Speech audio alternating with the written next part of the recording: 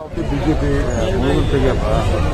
One thing I can tell, the entire administration of the government has failed.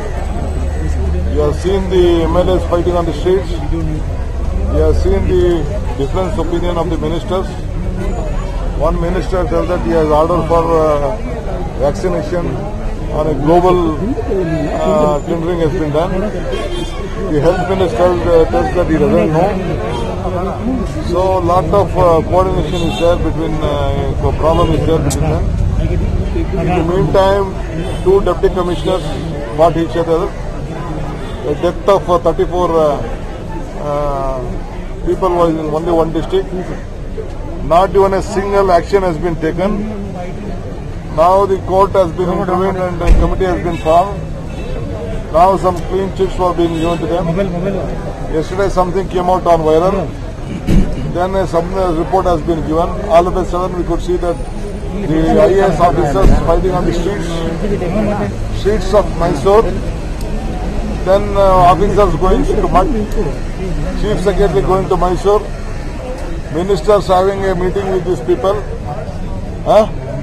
I think the entire administration collapsed. Sir, today Renukacharya. what, what, what has been, problem has been created is that we all are suffering. We all are begging for our lives.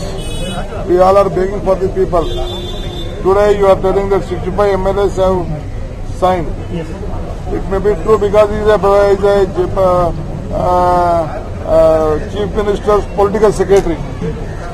I don't doubt his uh, uh, uh, this one authority. So to, uh, for 65 MLAs have signed means there may be some uh, issue which is going on within themselves. But we don't want to intervene with this.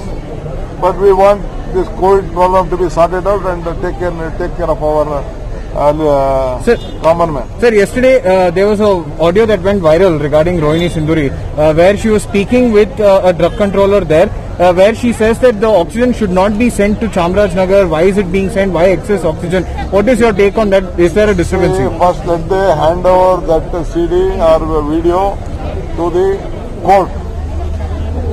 The judicial inquiry has been taken by, uh, by on the investigation on the directions by the High Court of Karnataka. It is the BJP uh, spokesman or BJP party Morcha president who has released. Kindly, I want him to hand it over to the court immediately. Sir, do you think when people are dying, people are suffering because of COVID, Karnataka ministers and MLAs are busy doing uh, Politics, no, no, no. They, they have allowed us. See, only they are sending people to the graveyard. They are giving them ashes, gifting ashes. Uh, the, the prime duty of this government is giving them ashes. Thank you, sir.